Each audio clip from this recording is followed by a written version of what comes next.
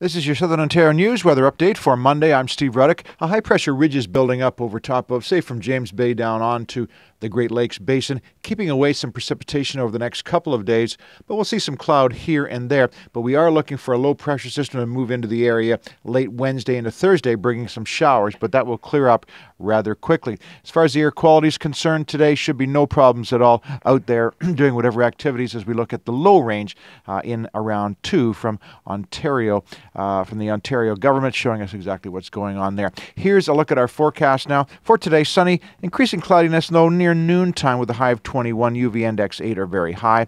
Clearing tonight, a low of 11 degrees, so a degree or two higher than it was last night. And for tomorrow, Tuesday, sunny conditions with a high of 22.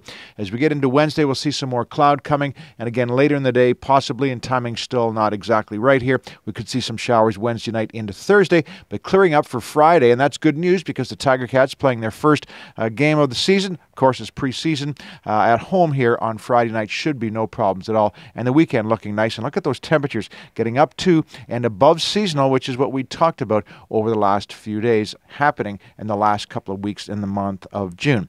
At least that's how things are shaping up. I'm Steve Ruddick. Thanks for watching Southern Ontario News.